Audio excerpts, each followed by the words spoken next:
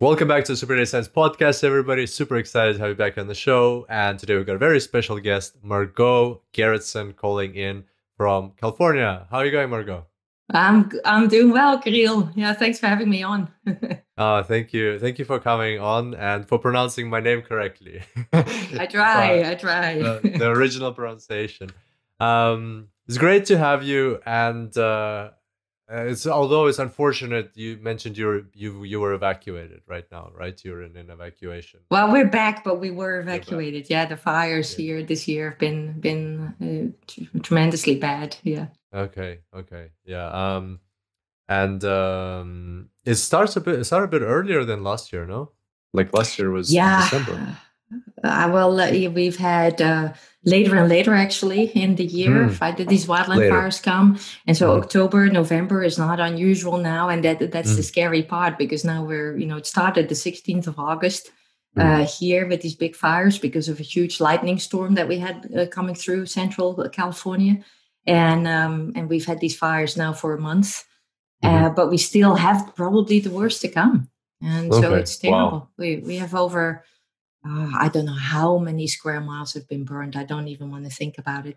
It's terrible. That's, it's, it's the worst year. It's the worst year. Yeah. Wow. So right now the air quality outside is is is really bad. We're at uh, if if the AQI uh, means anything to you, we're we're at 300 here, which is wow. hazardous. Yeah. Wow. Okay. Um, but uh, other than that, California is still amazing, right? That's yeah. uh, we still we still like the stage, but uh, it's sad. Yeah, and uh, originally you're from the Netherlands. Yeah. Uh, or is it? What's the difference between? And that's pardon my ignorance if, if this may be uh, like the incorrect way of saying it. In Netherlands versus Holland, like what's uh, when do you use which word? I use both. I'm not so sensitive to that, but there are some people, some Dutchies that uh, that really want you to say the Netherlands, and the yeah. reason is that Holland really is only two of our eleven, I think, provinces. Provinces. So, uh-huh. so you know, we the the country is divided in provinces, and there's two North and South Holland that uh-huh. uh, really are sort of the center of the country in terms uh-huh. of uh, the economy, and most people live there, and so on but of course, the other provinces don't like it when you refer to yeah. the whole country as just those two. But most people don't know, right? what the difference is. So I'm not sensitive. And and this and when we uh, you know we're big soccer fans and mm. and and we we talk about. Uh, about Holland, uh, the, the the big uh, cheer that we have for for soccer is "Hup Holland Hup," which means mm. "Come on Holland." You know, come on. Yeah, and so we don't use the Netherlands. And Holland is a lot uh, shorter, right, than the Netherlands. That just is, is a little bit easier to roll off the tongue. yeah. Uh, orange, right, is the national color. That's right. Yeah, red, white, and blue, and, and orange. Yeah. Okay. And uh, you still have a monarchy in Holland? We do. We have a king.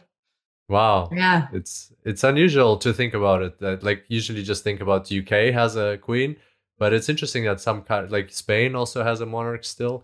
Uh, yeah. Belgium, has, yeah, Belgium, Belgium, wow, you know, and and of course some of the Scandinavian countries, right? So there's yeah, there's still quite a few, but uh, I don't think in in Holland, uh, you know, the the king and and then formerly the queen uh, played such a big role. I never really thought about it as a uh-huh as a as a kingdom in that sense. Uh, I'm yeah. not a not a big fan, but maybe I shouldn't go there. it's interesting, just interesting. Um, yeah. Yeah. Okay. All right. Also, well, um, and you've had a very interesting life, just from like what we discussed before the the start of the podcast, briefly. Like you lived in New Zealand for five years, now you live in California, originally from the Netherlands. Tell us a bit about like how how did you end up being all over the world like that? Uh, by accident. Yeah. Wow. it wasn't really planned. I often uh, tell my students that the only thing that was planned in my life was that from a very young age on, I wanted to leave the country. I think I was uh. eight when I wrote uh-huh. in my diary, wow. "Hey, I don't, I don't want to stay here. I want to, I want to go west." Wow. You know, maybe because I, I, I was a big fan uh, of Led Zeppelin, and they had the song uh, "California," going to California, right? Yeah, and yeah. Uh, and then I, I remember when I was pretty young, I watched the movie The Graduate, and and I saw Dustin Hoffman drive uh-huh. across the Bay Bridge, which I actually thought was the Golden Gate Bridge, and I thought I want to do this, you know, drive yeah. across that amazing, iconic bridge in a convertible. So so that got me going. So both of them thought, well, California would be amazing. But I really just wanted to leave. You know, if if you've spent any time in uh, in in northwestern Europe in the winter, you know why? Because it's gray and it's uh, mm-hmm, depressing, mm-hmm. and yeah, uh, and and Holland is very flat. I wanted to see mountains and I wanted to have more sunshine. So. Mm. So I left uh, uh, as soon as it was possible, which was really after my studies, and uh, mm-hmm and I got a scholarship to go to any somewhere in the world. And I decided to go to the opposite of Holland, which was Colorado, because there uh, the uh, number of days of sunshine was about the same as the number of days of of cloudy cloudiness in Holland. Oh, wow. and they're big big mountains, right? And it's not flat. So I thought, okay, this yeah. is it. This is this is what I have to experience. And then. Yeah uh, after a year there, I got into Stanford. I applied to Stanford and I moved to California. Uh-huh. Uh, yeah, and then you know got this job in New Zealand, and I thought, oh, let's try that out, and absolutely loved being there for five years, and then. Mm-hmm got an offer to come back to Stanford, which was totally unexpected. So I just jumped uh, jumped on it. So yeah, if if you told me as an 18 year old or so, hey, you're gonna end up being on a podcast run by somebody in in Australia while living in in in California, would have said you're you're absolutely out of out of your mind. yeah, yeah. It's been I've been so lucky. And yeah, yeah also yeah. Yeah, it's interesting. It's interesting, and um, lovely places. Colorado california new zealand. It's uh, fantastic fantastic that uh, you've uh, experienced these. And um, what was from all your travels what was your most like memorable moment? I don't know this of all, all my tra- all my yeah. travels? Oh well the best travel for me ever was going to antarctica. Mm. and so i never lived wow. there but i spent some time there. And and the reason why this was so so fun for me is, uh, yeah, I have one. I have a son. He's he's almost twenty one now, but um, mm-hmm. he was born in the year two thousand on January eleventh. Mm-hmm. And and I've said to him when he was about seven, you're going to have one really really special birthday because you're going to be turning eleven on January 11 mm. in 2011. And I thought mm-hmm. that was kind of kind of special. And so uh, when he was seven, I said to him, what, do you want to do on this really, really special birthday? And he was a big fan of penguins at the time. So he said, Mom, I want to celebrate my birthday with a lot of penguins.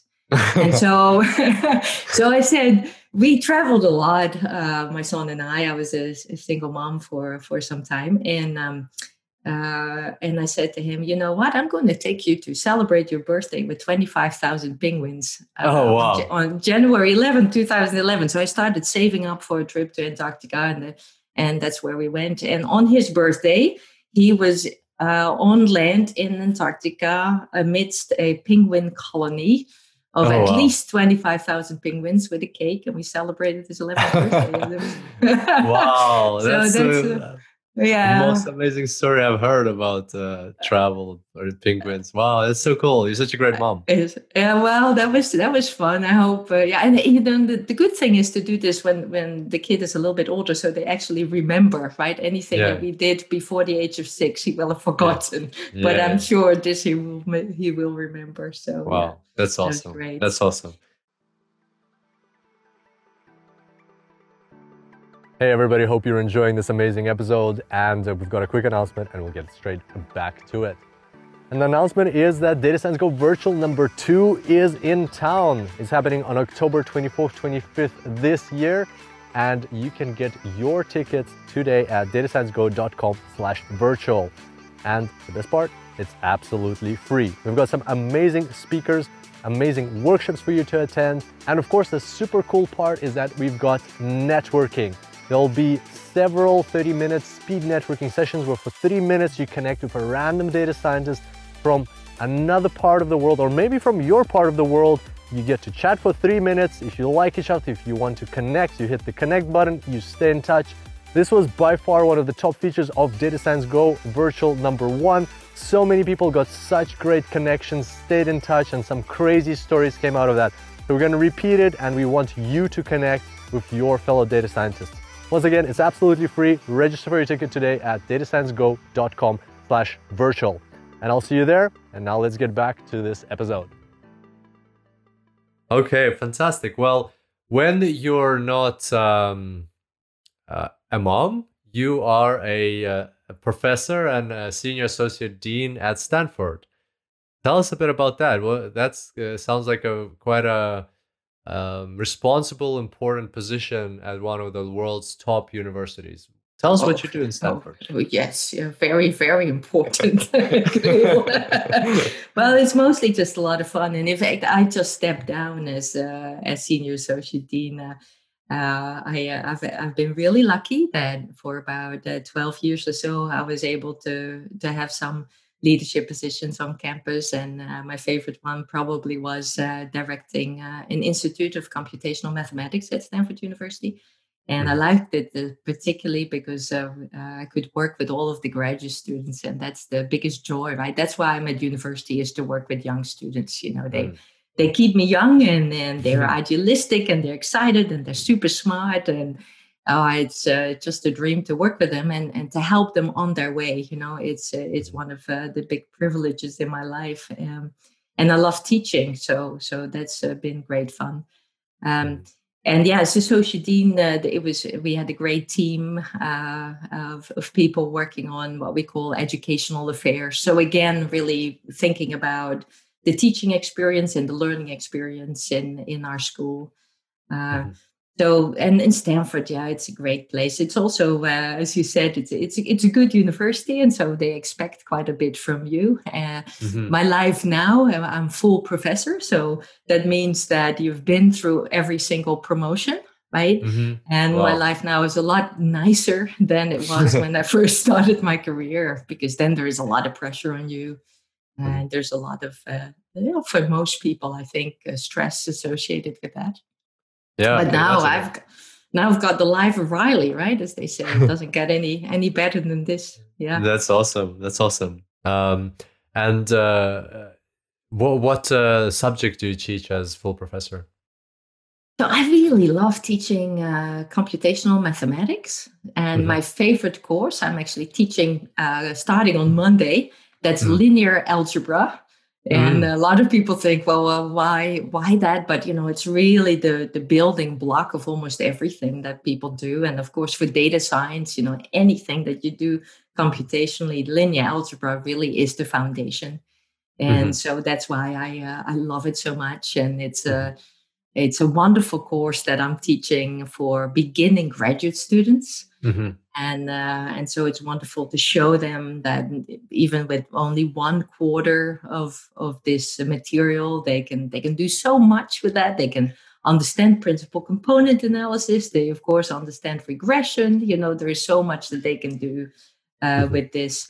And um, so that's probably my very favorite class but i also teach classes in energy systems particularly renewable energy. I'm a big fan of fluid dynamics. I did that for a mm-hmm. long time you know uh, simulation of fluid flows. And I'm really excited about wind turbines. That must be my Dutch heritage.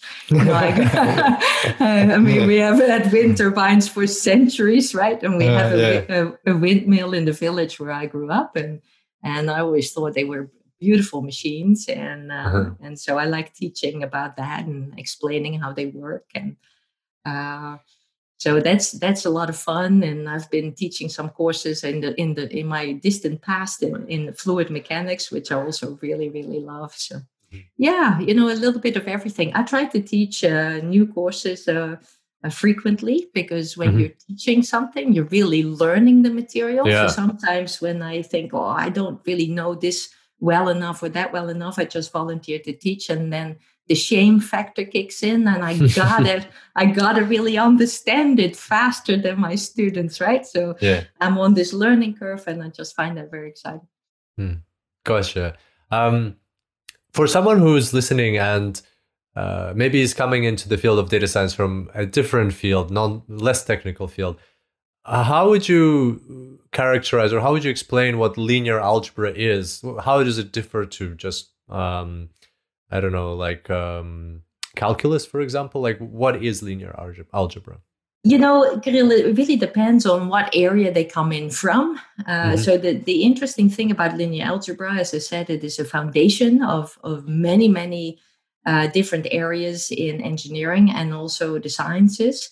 Um, but for most people who are looking into data science, linear algebra comes in because data is typically stored in in things like tables that we call mm. matrices and then in data you're trying to understand the richness of uh, in data science you're trying to understand the richness of uh, of the data set that you have and usually that means interrogating these matrices you know trying to find out mm. what is uh, relevant information in this matrix what is redundant information uh, mm. in in in this matrix and so you need to understand how to manipulate that and mm. um, and and linear algebra basically helps you do that right so mm. you you can you can look at a at a, at a matrix as a as a um, a set of uh, columns or a set of rows and understanding how columns relate to each other how rows relate to each other so this is how a lot of people come in and and they want to do for example as i mentioned earlier principal component analysis which is mm-hmm. really just a, a form of data mining you know where is mm-hmm. the relevant information in the data that i've uh, that i've just stored and you can translate that in a matrix uh, manipulation or an algorithm and so i teach these base algorithms that allow you to do that um, mm-hmm. Other people come into linear algebra from uh, for example, fluid mechanics or climate modeling or uh, seismic uh, analysis. And then matrices come up because they represent systems of equations. And, and mm-hmm. so, you know, maybe pe- people who remember high school uh, algebra, you know, remember systems of equations, but there they were maybe two by two. So you had two equations and two unknowns. Uh, mm-hmm. But in many of the systems that I've worked with, you may have millions of equations and millions of unknowns, and you store them typically using matrices. And again, then you want to be, be able to manipulate these matrices to understand these systems a little bit better. Uh, so you know that's the interesting thing with linear algebra. I see this very much as the field that allows you to manipulate and work with matrices and vectors. And these matrices and vectors are used to store data to represent systems um, and um, and therefore they come in so handy in many different places.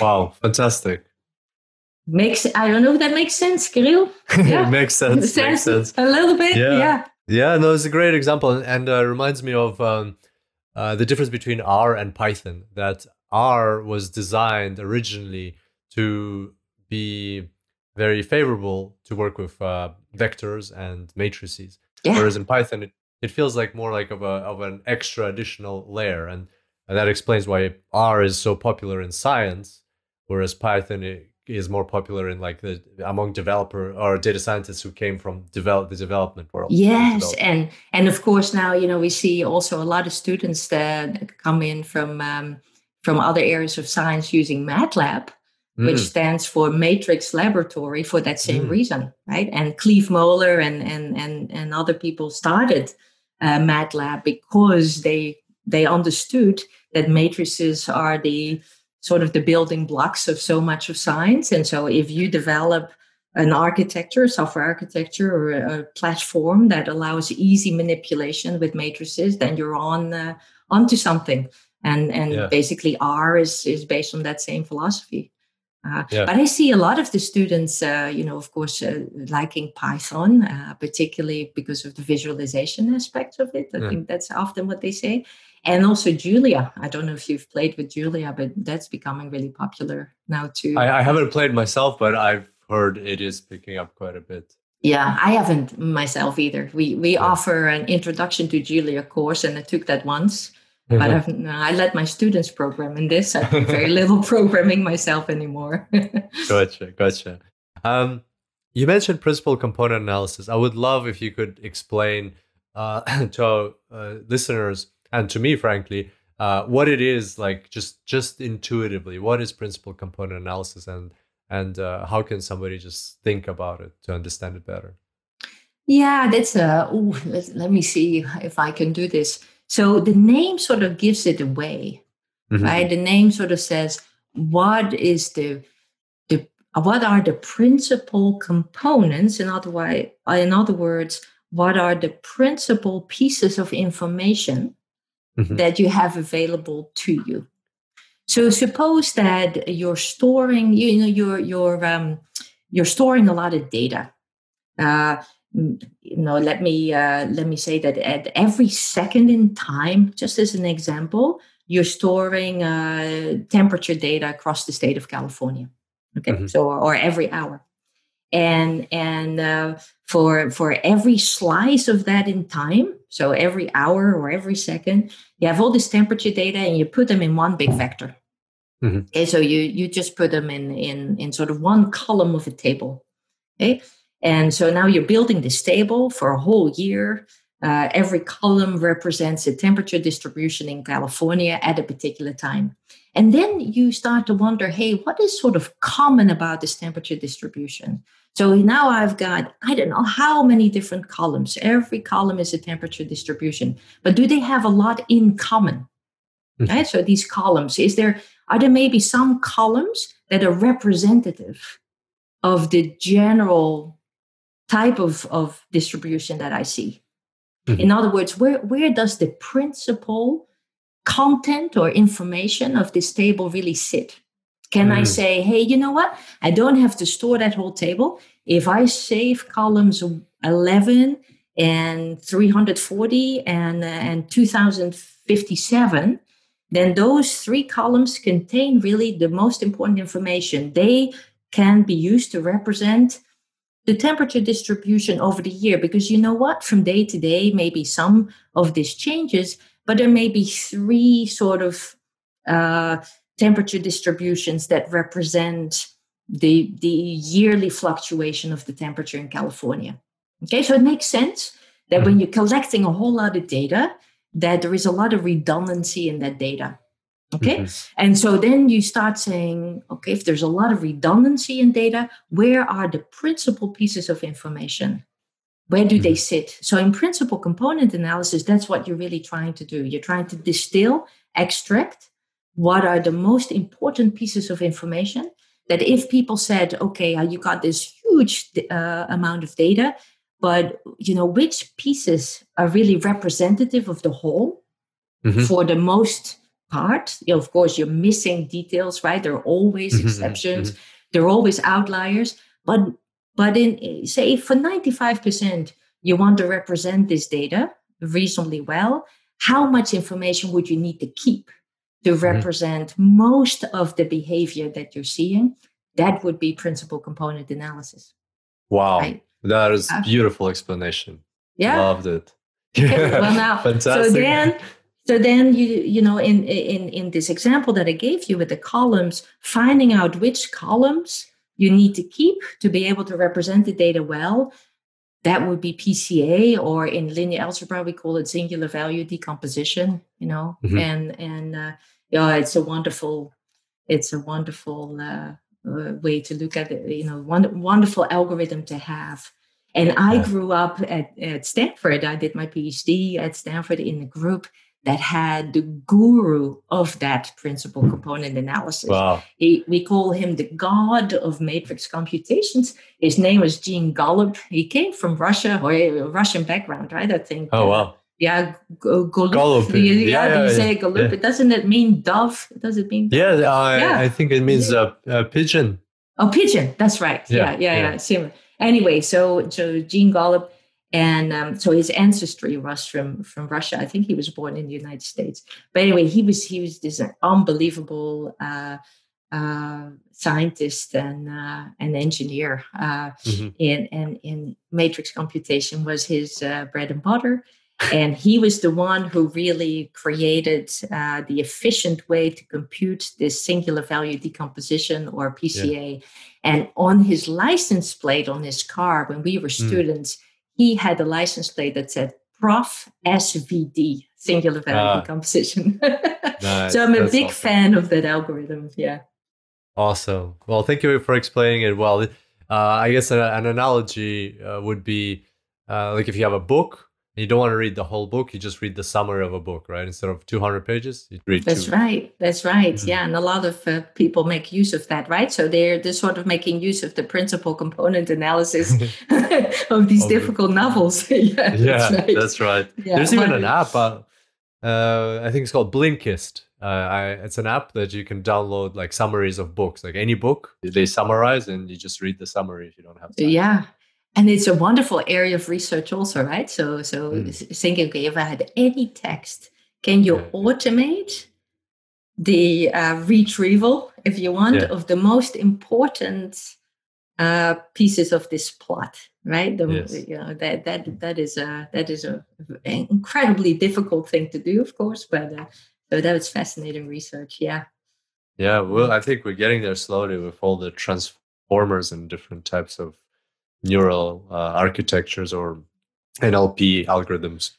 So we'll yeah. get there, I think.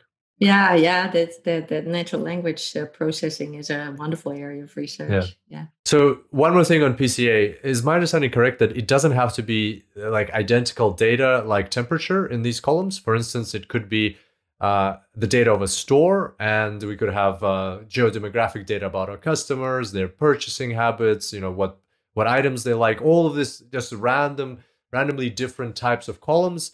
Um, basically, we could just normalize them and then apply PCA anyway. Is that is that correct? Yes, and then what you often find is that you extract a bit of information from all of these different dimensions, mm. right? So if you have all yeah. the all of these different uh, uh, descriptors, as you say, represented in the data, then then when you start looking at this, you probably extract a bit of of everything, right? Because uh, yeah, yeah, for sure. Um, and that and that helps. Uh, that helps um, when you build your model, whether it's a logistic regression or a deep learning neural network. It helps you limit the amount of inputs you give it, so it speeds up the training and uh, just makes it more efficient that way. That's that's ab- absolutely one of the one of the ways that you can use it. You know, you could just do data mining, right, where you're only interested or prim- primarily interested in in uh, the uh, the richness of the uh, the contents that you have. Mm-hmm. You know, you mm-hmm. know. To, really trying to explore the data what's really in it what's not in it you know what what are the like i said the the principal um, behaviors that i'm that i'm seeing here the principal components but you can also use it uh, as a as a an assistance in other algorithms, and that's often, as you say, yeah, uh, really well well said to speed up uh, other algorithms because you can mm-hmm. imagine when you're doing a you know you're creating a, a deep learning algorithm and you have a, an enormous amount of data to train this well you really only need to train it on relevant data right mm-hmm. uh, if you have repeated data uh, a lot of redundancy in the data. Well, that would be really nice if you understand where that redundancy is so you don't need to train on the same thing over and over again. Yeah, absolutely. Well, Margot, thank you very much for the description of PCA. That was, I think, the first time uh, described so well on the podcast. So that'll be very useful. So you're testing, you're testing all your guests and saying, "Give yeah. me, explain to me what is PCA." no, no, no. I, I, I look I ask for the the the you know something that feels right in the moment. Um, but what I wanted to say is that it now we've learned a bit about your you know travel history and uh, your teaching, and so when you're not being a mom and when you're not teaching at Stanford, you're the co-founder and co-director of WIDS or Women in Data Science, which is a huge conference how do you find the time? Like this sounds already like a lot of things. How can you, in addition to all of that, also be running a massive world renowned conference? I think you've reached over a hundred thousand people worldwide with in 60 different countries. How do you find the time for all this? Yeah, so uh, uh, you know the secret is uh, a really, really good team, right? Mm and delegation, delegation, delegation. And so, with Women in Data Science, uh, uh, was formed almost, uh, you know, it, it, it, was sort of a, a, miracle, really, how that came came together. We never set out uh, with WIDS to build this huge global conference, nor did I ever dream that this would become so so big. Uh, mm-hmm. But uh, here's what happened in 2015. I got really sick and tired of having conference after conference in data science. And, and when I talk about data science, when we talk about data science in WIDS, we see data science as this umbrella field that contains artificial intelligence and machine learning and data visualization and everything right and and and there is not a common shared uh, vocabulary and so some some people see data science as totally separate from ai okay so mm-hmm. so let me just make clear that we see ourselves as a container for for everything related to data including ai uh, but at that time in in what i would call the data this, the field of data science you know, most conferences, uh, particularly in Silicon Valley, I have to say, were, were totally male dominated. We had so many conferences that only had male speakers. And I knew as a woman in this field myself, so many outstanding women doing really fantastic stuff. And I didn't see them um, uh, as, as speakers at conferences or on panels uh, we have these so-called manels, right, with the male only, uh, male only panels, and, and so that's I not heard that before. no the manels. Oh yeah, this is a common common theme. So so I got really sick and tired of it, and and for me the last straw was a, a conference that was actually organized. I have to I have to uh, admit uh, on campus. And I had been asked to to talk, and I couldn't make it uh, to on that day. And uh, a little bit later, I saw the announcement of the conference and I saw there were only really male plenary speakers. And so I ran into one of the organizers and they said, What happened? He said, Well, Margot, you couldn't make it. I said, Are you are you kidding me? I'm the only woman. Uh, I said, No, well, Fei Fei couldn't make it either. I'm talking about Fei Fei Li here, very famous uh, AI uh, person on, on campus. And she's a wonderful colleague. Um, and and we couldn't we really looked for other women but we couldn't find any and i thought okay that's the problem right they're just not known uh, they're out mm. there they're not being promoted for whatever reason let's make a let, let's change this once and for all let's organize a conference that is a technical conference and mm. just happens to have only female speakers like so many conferences at the time happen to have only male speakers right Mm-hmm. And so I jokingly said uh, the first conference we held when people said, Why do you only have female speakers? I said, Well, Joe couldn't make it. No, we, asked, we asked him, but he couldn't make it.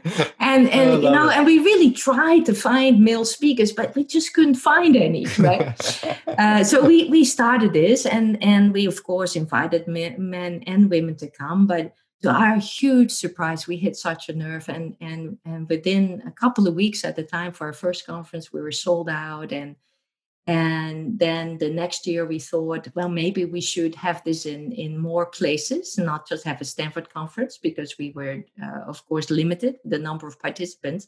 We ended up uh, just because uh, we thought that maybe a fun thing to try live streaming at that time. So this is pre COVID, by 2015. Mm-hmm live streaming was not so, so common uh, for conferences and uh, and without you were the pioneers well we just tried it so you know and it, of course people had done some of it but yeah. we we started live streaming and we we made it available to everybody for free and and to our big surprise we had 6000 people on the live stream without advertising wow. so so to us uh, kirill at the time it meant well we hit, we're hitting a nerve people mm-hmm. and particularly women and, and, and young girls, they really want to see uh, other women talking about this amazing work that they're doing. And this was not a conference where we got together to complain uh, about how hard it was for a woman in data science. This was a conference celebrating this really outstanding work done by all these amazing women.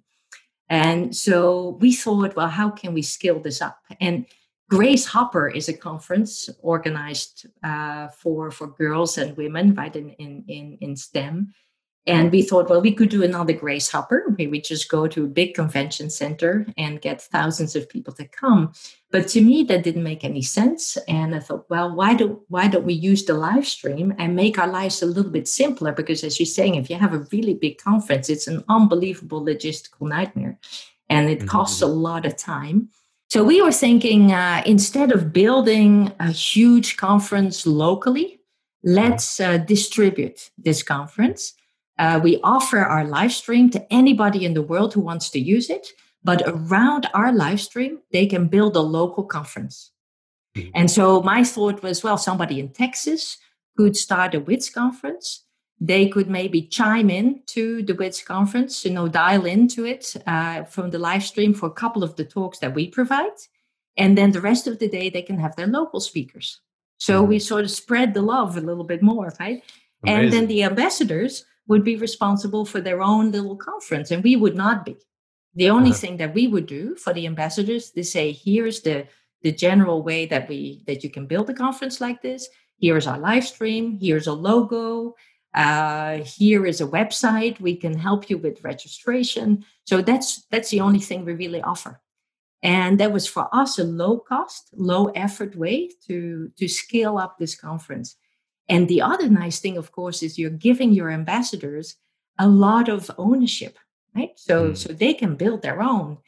And this just worked so well. So now we have over 500 ambassadors all around wow. the world, you know, and, and, like you said, in over 60 countries.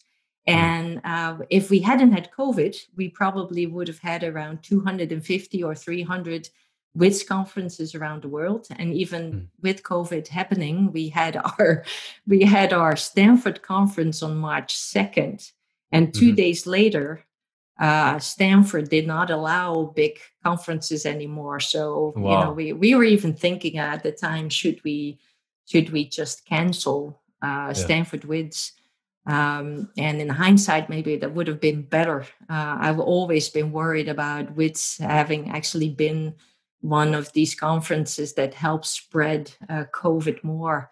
Uh, we weren't we weren't as knowledgeable, I think, about uh, about COVID uh, very early on in March as we are now. But anyway, we, we we still did it this year. But many of our conferences happen a bit later in the year, and they either went to uh, fully virtual conferences or they canceled and they will do them them next year. Uh-huh. But so we, so we created in 2016 and 17 this sort of hybrid form of mm-hmm. live stream, virtual conference, and then regional live events, and now a mm-hmm. lot of uh, also regional virtual events. And um, what has been so amazing to me is to see this being picked up in countries that you may not expect. We're really big in the Middle East. Mm. Um, in Saudi Arabia, we were uh, I think the very first conference that women could go to unaccompanied because there were wow. only women at the conference. Wow. You know, so this very was interesting. In Japan, uh, this was the first time women really got together for a conference in, in this sort of computational area. Um, you know we we have them in africa we have them everywhere but antarctica right so we should we should work on that we That's should have so a, lovely. yeah so That's it's so been lovely. it's been really surprising success and we're still a very small team we, we have yeah. three three co-directors and uh, we have a really small budget uh, actually to run this uh, uh but we we're we're really making great use of this amazing work done by these hundreds of volunteers around the world. So uh, it's it's been so surprising to me. That's awesome. Yeah. When, when is the next one, and how can somebody participate? So the next one will be International Women's Day 2021. So mm-hmm. and then we are actually going to have a 24 hour event oh, around wow. the world. So it Amazing. will be a, a 24 hour marathon where we start in the Asia Pacific. So we'll yes. we'll kick it off in New Zealand uh, this yeah. conference, and then we travel around the world. So we go uh, to uh, you know so we have the Asia Pacific and China and India. Then we go to Europe and the Middle East. Then we go to the Americas, and then we end up with uh, live streaming from uh, Hawaii. And Hawaii, uh, yeah. So that's a really I think starting in New Zealand and ending in Hawaii is uh, nice. is, is, is, really fun. Um, and then, so we're going through these different regions in the world, and we'll have content delivered uh, from Stanford for 24 yeah. hours. But that content will be supplemented by content in each of these different regions from uh-huh. some of the regional events. Amazing. So, yeah, it, it will be a really fun thing to uh, to do, and like you said, this last year we had uh, over 100,000 people participating in, wow. in the WiDS conferences. And uh, uh, yeah, the nice thing also about it is because most of the conferences, the WiDS conferences, they, they, uh, they are recorded. And so we have hundreds and hundreds of videos of women talking about their work right now. So yeah, uh, it's uh, it's made a difference. But we don't just do the conference; we also now have a podcast okay, yes. that that I'm what is hosting. it called? Uh, well, we are incredibly creative, so we call it the the WiDS podcast. okay, so it's really just called the Women in Data Science podcast, uh-huh. and uh, we also have a datathon that we're oh, running, oh, wow. a, a, global datathon for a couple of months before uh, our WiDS conference at Stanford, and then at this Stanford Central Conference, uh, we will we always announce the winners. So okay. last year we have uh, we had uh, several hundred teams from from around the world working on this datathon. Yeah, and wow. and we have a bit of an outreach program now too mm. uh, to mm. to high school uh, students. So we're gra- we're growing. Uh, Amazing. We want, we want to do more, but it's still really the three of us running this. So we yeah. we try to grow it pretty slowly. Yeah. Wow. Wow. That's that's fantastic. Um, what are the main messages you aim to spread with this conference? So, you know, we started because we really, really wanted to promote these fantastic women doing this really great work. Um, but we always say, hey, we aim to support, inspire, and educate. So, those are sort of the three active uh, action verbs, if you like, the action yeah. words for us. Um, one of the big things we hope is that some of the barriers to participation by women and we're really very inclusive so when i say uh, women you know anybody really is is welcome.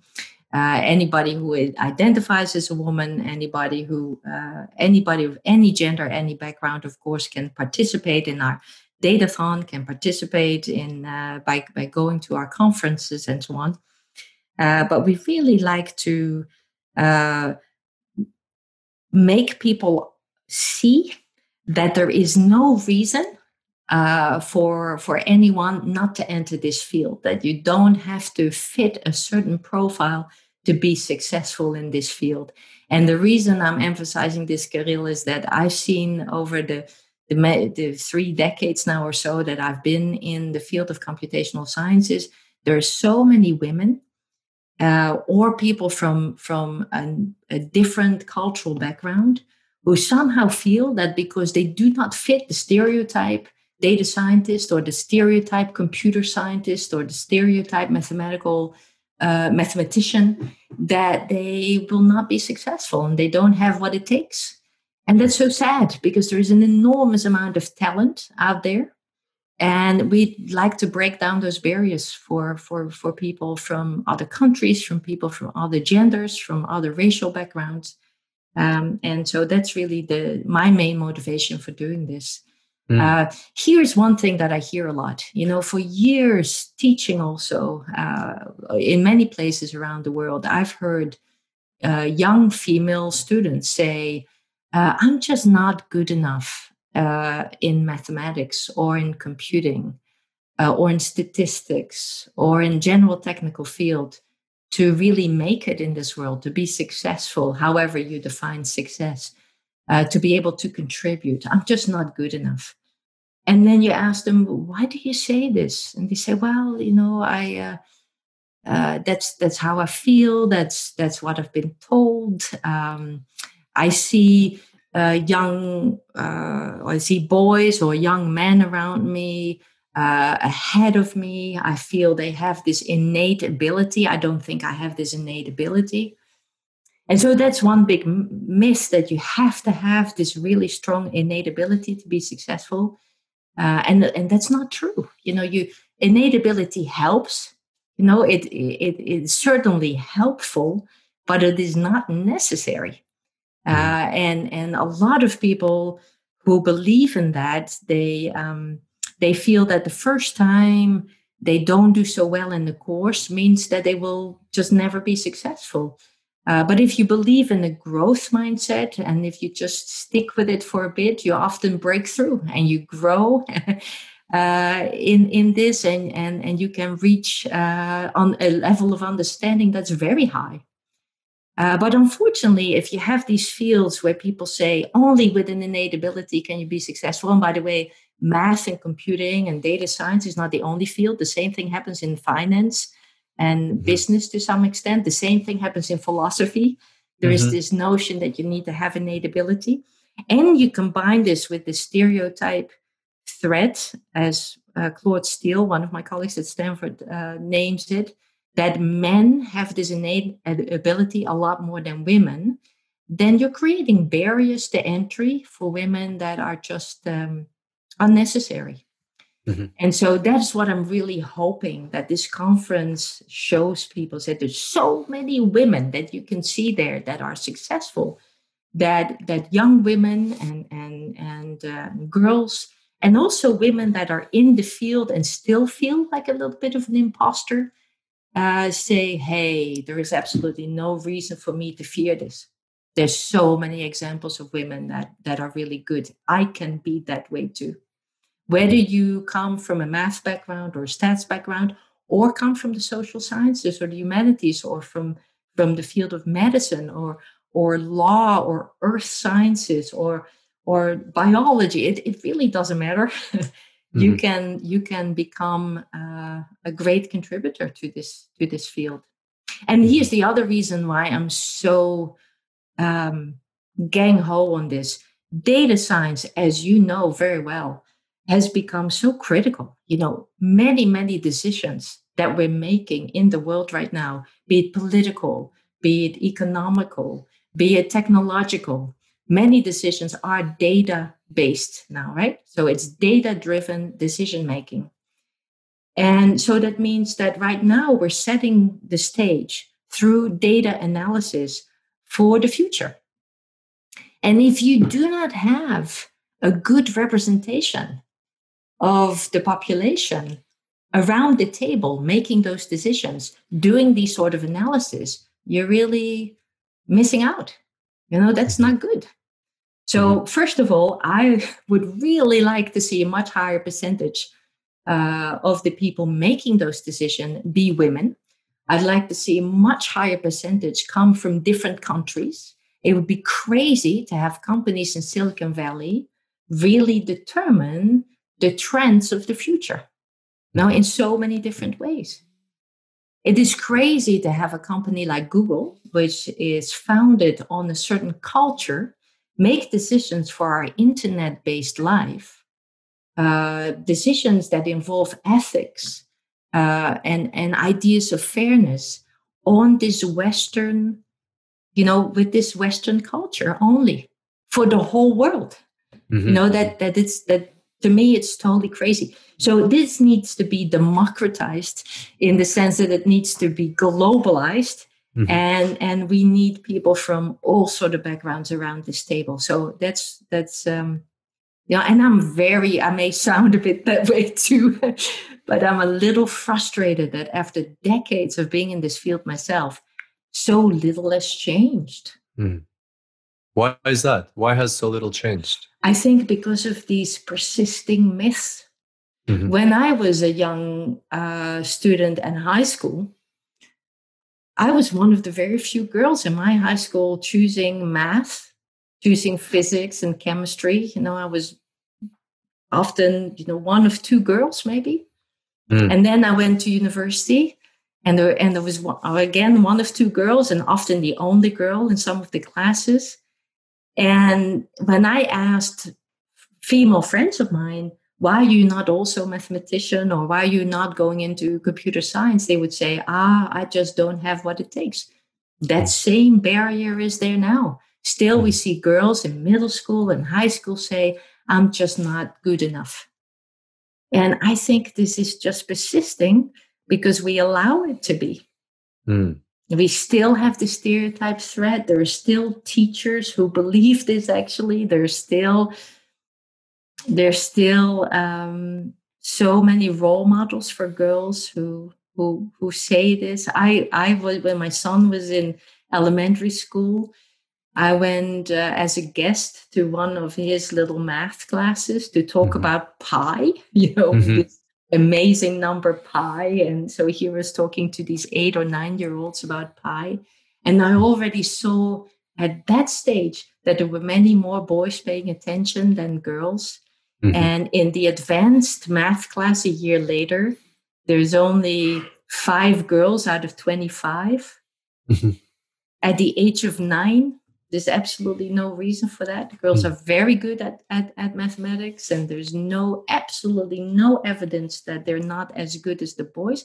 But it was already starting at that time. Mm. This idea that boys are just better and faster, and, mm. and do, you, do, you, do you think uh, there's um, uh, a preference, like girls maybe uh, not uh, as many girls want to be in mathematics, or do you think it's uh, mostly about the uh, preconceived uh, myths that they have? You know, I think this this um, uh, first of all, I have to be really humble here because I I just talk from my own experiences, right? Mm. And so obviously I'm I'm probably a little biased in this, but this is what I think. I think that this these two myths I talked about, this this feeling that society has as a whole that you must have this innate ability to be successful, the feeling that men have this more than women uh, is incredibly important. And then on top of this, I think a lot of girls and young women are, and this may also be cultural. This may have nothing to do with genetics or, or you know, um, uh, really, really uh, original female versus male traits. But but we see a lot of girls and young women be very motivated to contribute to the social good, to mm. do good. And there is this also misconception, I think, that uh, the STEM fields and uh, data science and computer science are dry and removed from reality, maybe not so practical, and not used for the common good. Mm. Which, of course, is also totally false. But mm-hmm. but people think about you know when we go to high schools we see this for example that a lot of the girls say why would I want to work for Google they're only doing you know they're creating apps or they're so far removed from uh, what really benefits society. Mm. So I think that also plays a role. Um, I there's like a third yeah. I think so, and it's always hard, but because people argue and say, well, when you look at nursing, uh, there are very few men doing that. Are you up in arms about the the lack of men in nursing? You know, mm. as much as you are up in arms about the lack of women in data. And I, th- I think it's terrible. I think men would be fantastic nurses and we, i'd love to see more more of them. That's not my field so i'm not up, up on the barricades for for men in nursing. But i think in general society benefits when people that are at the forefront of any movement be it healthcare or uh, data driven decision making uh, have a have a very balanced uh, demographics I think mm. that is to the benefit of society uh, all along. It's the same with first responders. You know, mm-hmm. that's why it's better to have more women in, in the fire service, the more women in the police force. Mm-hmm. Um, you know, more women, sort, certainly with policymakers, you know, all, for all of that, for all of those reasons, it's good to be, be balanced. Whenever you have people making decisions for future generations, um, mm-hmm so I think in this, it, it behooves us to really try to dispel these myths. And only if we've done that and we still see females choosing those uh, those other fields much more, can we probably say, hey, there is something innate mm-hmm. to women or men that makes them go this way or, or another. Mm-hmm. Uh, right now, it may very well be yes that women say, "I just don't want to be in this field." But is that because they don't like the work, or is that because they don't like the male-dominated culture? Mm, gotcha. Makes sense. Thank you. Thank you. Um, and uh, you're clearly doing your part uh, to help with this problem. You're um, spreading the word on your podcast, on guest podcasts like this one, on uh, in your conference. What can individuals do, whether uh, regardless of gender, regardless of age and background, just somebody listening to this podcast? What what would your call to action be to this person to help um, encourage more women uh, into the space of data science? Well, if you're a woman listening and and and any of this you think, oh yeah, I have a little bit of that too. Please uh, challenge your own um, uh, misconceptions. I mean, I know this sounds very judgmental, but if if you're a woman and you think, you know, uh, you have have these thoughts of, I maybe not not simply not be good enough. I may not have what it takes start challenging yourself a little bit and say what evidence do actually do you actually have for this? Start um, uh, turning this around. Most of the time for for women and others it's because they've found some setbacks or they've they felt that they failed a couple of times or they're slow on the uptake or they felt a little bit out of their depths and it makes them feel uncomfortable and it, and they see this as a sign of not belonging but really, all it is is that you're on a learning curve. And when this is the this is the thing that I did for myself many years ago. When you start really loving that feeling, hey, I'm I'm feeling a bit overwhelmed. I'm feeling like I'm I don't quite yet have what it takes. I'm still learning.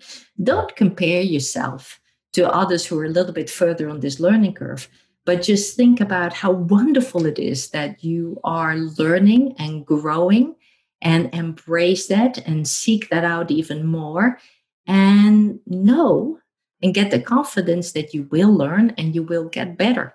And mm-hmm. this is so beautifully captured in this notion of a growth mindset. And uh, at the very start of, uh, you know, before we started the podcast, you asked me what's my favorite book. Um, here's a book that I think is phenomenal for this, and that's the book Mindset by Carol Dweck. Uh, she's a colleague of mine at Stanford. Uh, her last name is D W E C K. Um, and this book, Mindset, has changed uh, the lives of many uh, young women that I've known, and, and also young men, because it's not just the women that sometimes feel like an imposter. mm-hmm. This this discomfort with learning uh, is in many people. There is this idea that when it comes to computing or maths, you have to get it instantly or you will never get it. And that's nonsense. You know, as an instructor, I see this people, even this, the people around you who seem to know it all, they have themselves also gone through this learning curve and they also make mistakes. And it may be a little bit of a culture in this field to not really admit to that too much. Um, mm But um, reading that book changes a lot of people's uh, uh, perceptions, and so I highly, highly recommend that. So, so you know, challenge yourself, and and and if if you if you feel uncomfortable with with not being on top of something yet, turn it around and say, "How great! I'm learning, I'm growing." And and in itself that becomes a goal uh, i'm at the stage now in my career that i'm actually a little uncomfortable with being too comfortable if I understand, if I understand everything and everything get, comes easy to me, that doesn't feel right because it doesn't. That means that I'm actually not learning all that much. Yeah, yeah, uh, and so here is another thing. You know, I always tell students as well that uh, what's an expert? You know, you strive to be an expert on something, you strive to be successful in something, you strive to be a leader in a field. So you want to be an expert. What is that? An expert is somebody who's made every possible mistake.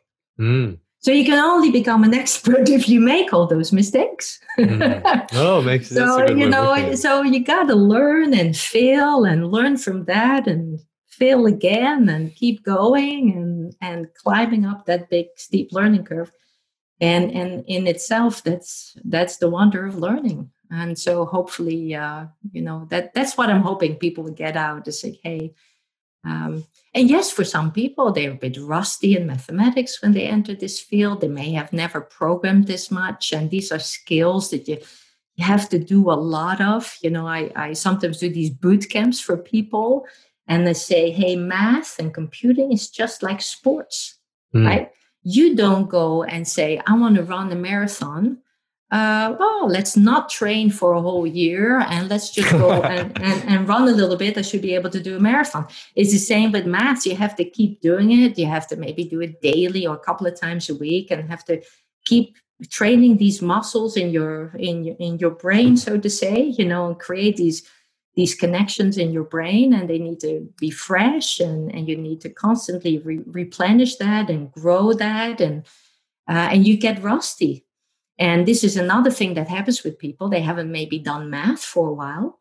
Mm. And then they go take a course or they try to take a you know professional course in Python or, or mm-hmm. something else. And it doesn't come fast to them. Say, no, you're totally rusty. You need a WD 40 course, you know, you need to de-rust yourself a little bit. And what I always tell is just keep at it uh, it's just like starting running again after not having run for a year. It takes a while to get back into this, and you have to do your mobility exercises and your stretching. And that's the same with your brain. And so just keep keep at it and, and keep keep feeding this and, and keep computing, keep trying to write code. And the more you do it, the more natural it will become for you and the and the faster you will be. And compare it to compare it to sports yeah, makes sense. Makes sense. And anything in life, right? Like if you want to master your mind, it's not like you're going to uh, all of a sudden, um, you know, become the expert at meditation. You got to like meditate slowly, little by little, over the course of weeks and months and years before you reach a level of oh calmness in the mind and and you can control yeah. your your thoughts. Like everything yeah. takes that. And you know, this is something I've tried and I've always totally feel that. Yeah. Yeah, no, that's right. yeah, totally. And I'm, I'm really envious of, of people who, who can who can do this and still their yeah. mind. I need to go on a bike ride or something to really still yeah. my mind. Yeah. I need to be out of breath to still my mind. yeah, everybody's got their own. Um, thank you. So uh, for those uh, of uh, our listeners who are women or who identify as women, one way to or the main way is to like question your beliefs and question oh where, where is this belief coming from? Why am i not good? If if that belief exists in in in uh, their mind what can uh, men do? How can men support their female colleagues um, in in and encourage them to enter data science or to thrive in the space of data science? Yeah that's such a good question. I think for uh, for men, what I've seen with my male colleagues, what really helped them. Uh, of course, there is this thing that that you have to think about whether or not you have any biases in how you look at people. There's a lot of them. Some of them are mm. conscious, some of them are unconscious. So you have to challenge yourself a little bit with with that. Uh, look around you, see who you've been hiring, see if you've been promoting. Uh, it's very common for people to hire like people you tend mm. to hire people a bit like yourself or the culture in your company and so that perpetuates right this mm-hmm. thing if you are in a company that's 85% or 90% men it's more likely that men are hired so so challenge yourself a bit in that saying hey am i just even subconsciously falling into that into that trap but the other thing is i think for men is to really understand that there that it is very different for for uh, uh, for a woman or somebody from uh, an underrepresented uh, minority to be in a male dominated the male dominated or white or asian dominated because that's often the case in these fields uh, a group And a lot of men that I meet uh, don't acknowledge that. They say, "Ah, we're nice, you know, mm-hmm. we're we're open, we're welcoming. You don't have to feel uh, different." So what I say to them is, go to a women in data science conference.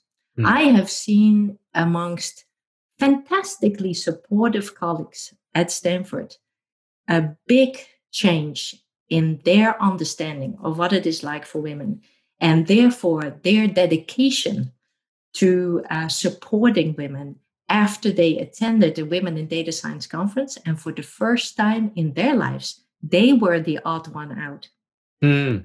See, for a lot of men in this field, they have never, never been in a group where they were different. Mm. They never had to think about it. And, and I just remember one of my male colleagues coming to the first WiDS and at the time, we had 400 people at the conference in this big auditorium, and there were 19 men. Oh, wow. Plus or minus one. I forgot now. So I asked them all to, to stand plus up. Plus or minus Joe. yeah, plus, plus or minus. Oh, Joe couldn't make it. That's right. Joe wasn't there. Uh, and, you know, one of them said uh, that uh, he had to get up halfway through the conference to go to the bathroom. So he got up and he said, For the first time ever, I saw people look at me when I got up and left, walking through the crowd to go to the bathroom. Now, as a woman, and when you're at the conference, and I've often been in that situation, when you get up and you stand out literally people focus on you not because you're you know you're you're a model or you're you're you're so good looking. That's not it. It's just simply because you're different. And oh so hey look there, there's a woman at this conference there's a woman. Wow. You know where where would she come from? And so now it was women in data science hey there is a man. And so this guy this colleague of mine said this was the first time and that was the moment where it shifted in him where he said, Wow, uh. I've never felt this different. And it made him feel a little uncomfortable. And this was just, I said to him, You've just experienced this for eight hours. Mm. Right? Yeah. Most of my female colleagues my age, we've experienced this for 35 years.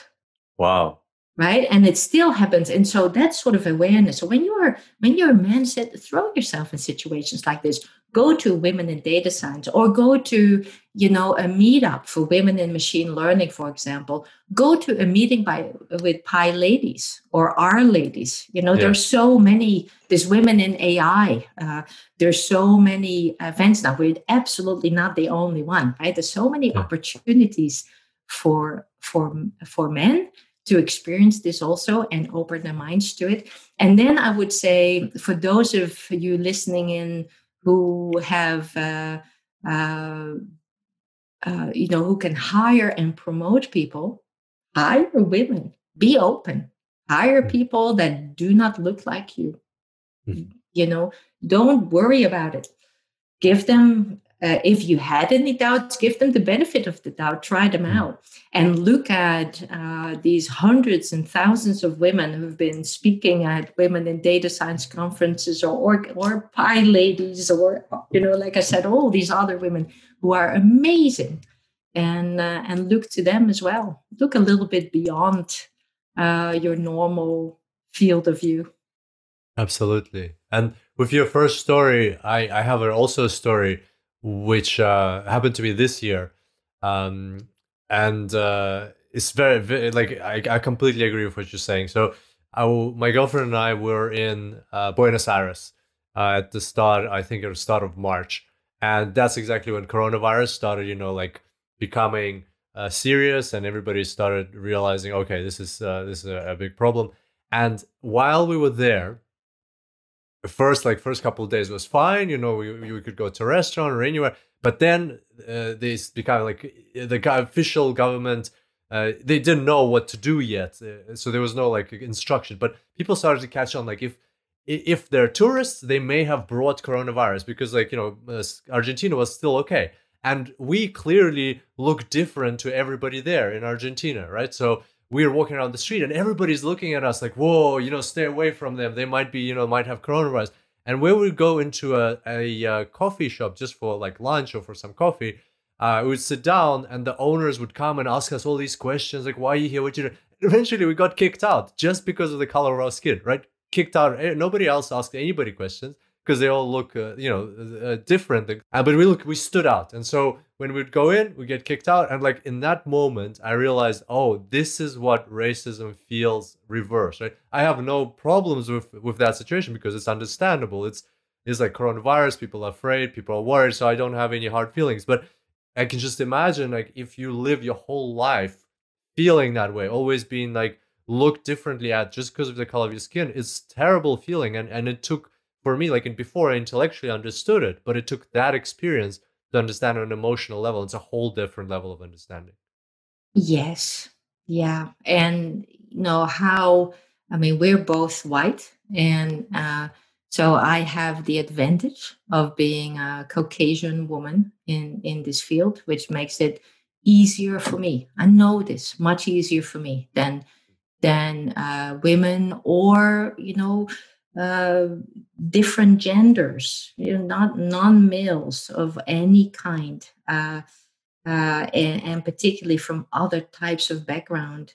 So my my my black female colleagues, my Hispanic colleagues, uh, uh, no, the, it, it, my Muslim colleagues, you know, for for a lot of them, they have a double whammy or a triple mm. whammy, right? Mm-hmm and so uh, I need to be really humble too. Have I have I uh, seen uh, sexism? Absolutely, and I've I've uh, experienced any level, you know, from from uh, just the microaggressions as we call it to you know being ignored to not being promoted to being scrutinized more than than others to being sexually harassed, uh, everything on the spectrum mm. I've I've experienced, um, and that's not great.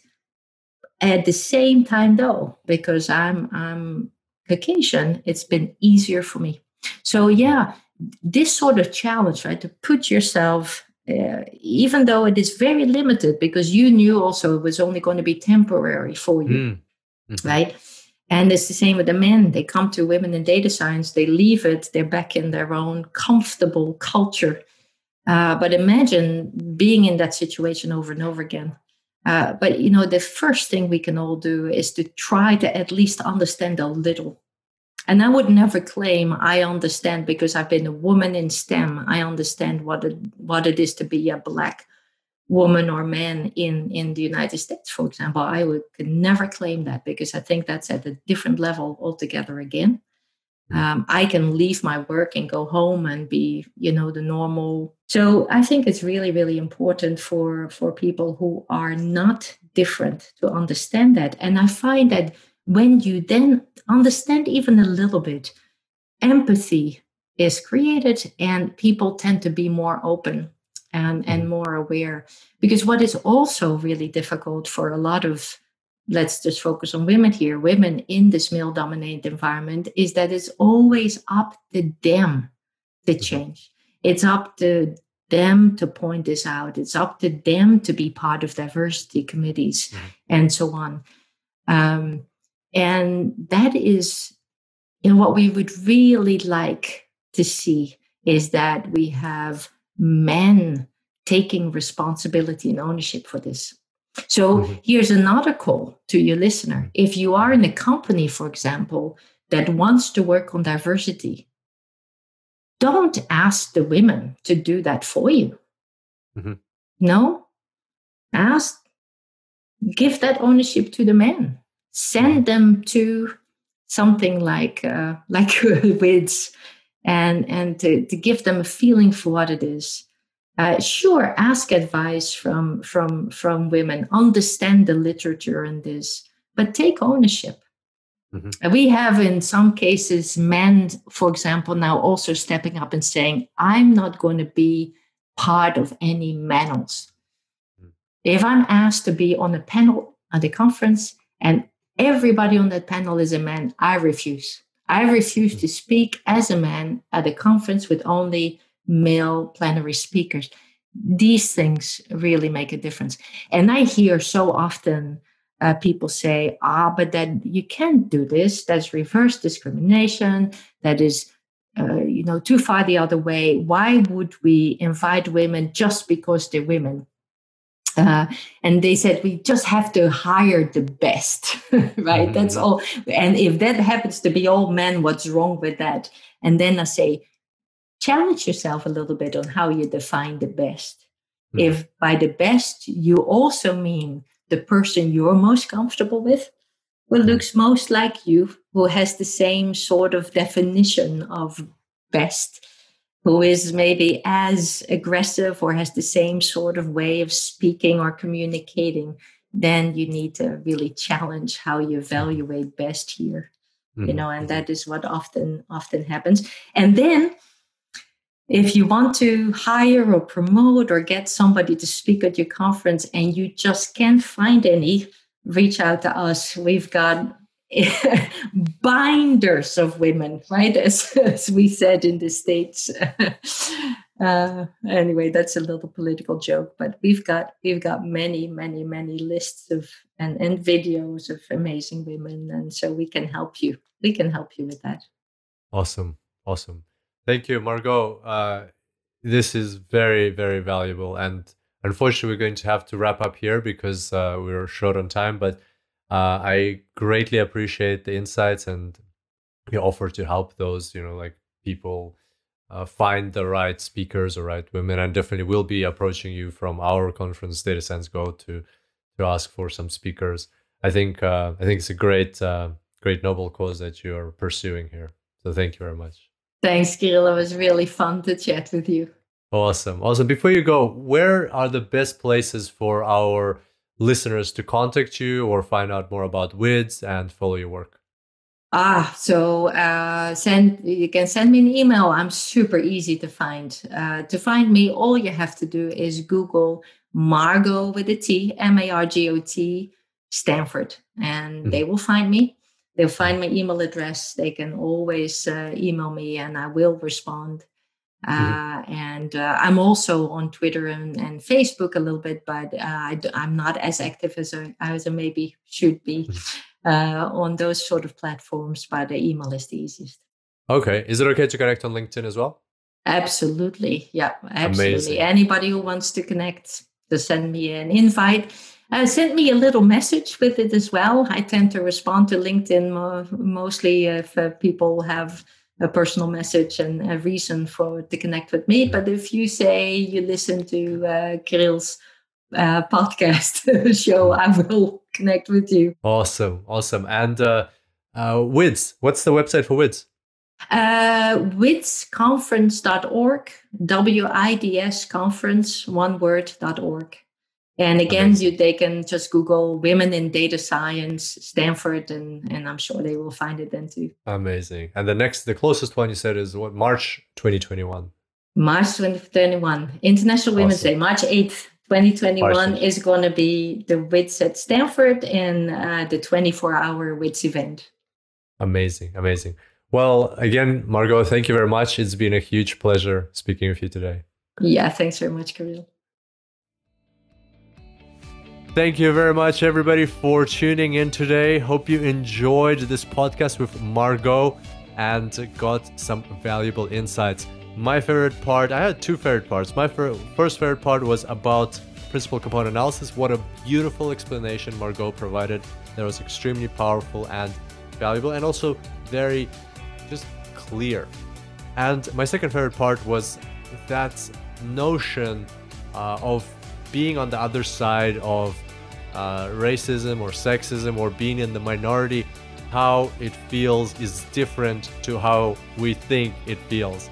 So, uh, if uh, you have never experienced that feeling, then as Margot recommended, try to put yourself in an environment where you are the minority, where you will feel on an emotional level what it's like to be different, to be the odd one out.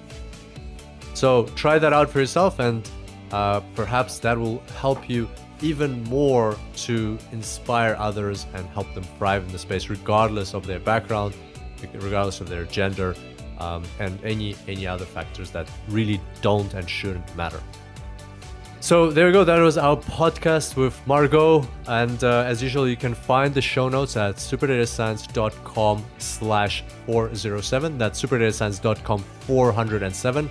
There you'll find a, a URL to Margot's LinkedIn, a URL for Women in Data Science conference, and any materials we mentioned on the show, as well as the transcript for the episode. And one final call to action if you know any woman or anybody who identifies as a woman, or in, as a matter of fact, anybody who could benefit from this episode to help make data science more diverse, more inclusive, and more empowering to everybody, then send them this episode. Send them, it's uh, very easy to share. Send them the link, uh, superdatascience.com slash 407. So spread the love and let's make data science an amazing place to be. And thank you again to Margot for joining us for this podcast, and thank you for tuning in today. I look forward to seeing you next time, and until then, happy analyzing.